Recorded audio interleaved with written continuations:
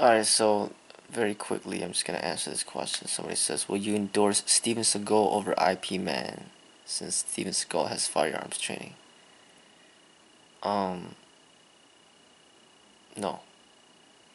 I don't know that much about Yip Man, but from what I do, from what I do know, and what I know about Steven Seagal, I'd rather, um, much rather promote Yip Man than Steven Seagal.